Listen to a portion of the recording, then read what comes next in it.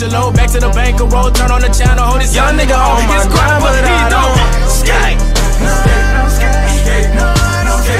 Before the video starts, be sure to give it a thumbs up, subscribe as well. Now, it's rare nowadays for a trade to be just a straight up player swap. No picks involved, no salary relief, nope, none of that. And this is just one of those cases. The Portland Trailblazers, coming off one of their most successful seasons, have traded Evan Turner to Atlanta, and in return they received Kent Bazemore. This was somewhat as even as a trade as you can get. Both these players in the final year of their overpaid contract, Bazemore making 19 million while Turner is making 18 million, so this didn't shift any salary cap relief for any team.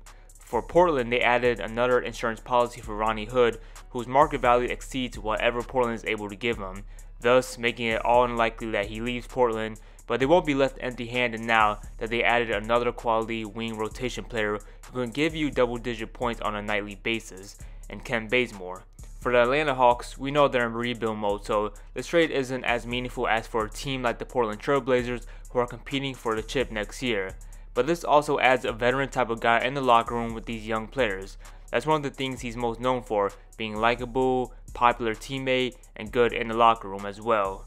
Trading Bazemore only lets your young guys have the ball more and evidently develop at a better pace which is what the Hawks are going for. This really wasn't a trade one side wins as it was so even that it almost feels like nothing really happened.